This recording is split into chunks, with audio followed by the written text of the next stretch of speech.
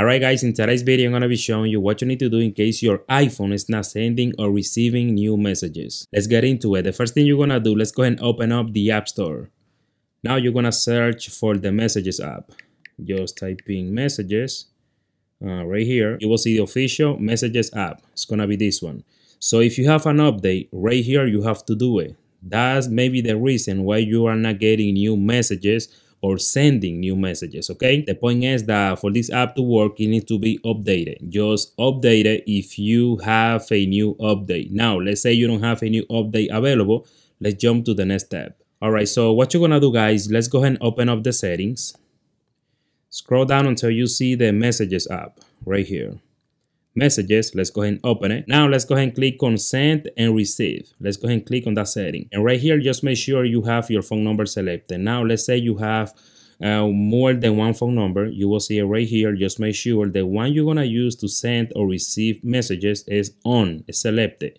Okay so right on the top you can select both phone number. And on the bottom you can just select just one. Just make sure you're gonna select the one you're gonna use to send or receive messages. Then go back. And what you're gonna do now, you're gonna turn off this setting, the iMessage setting. Just turn it off and now restart your phone. Just, you know, turn off your phone, turn it off.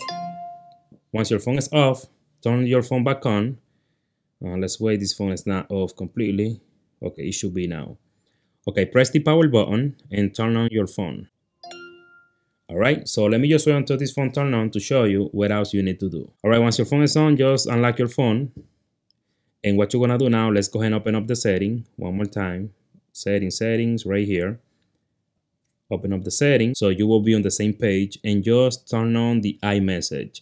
And now guys, try to send a message or receive any messages to see if now it's working.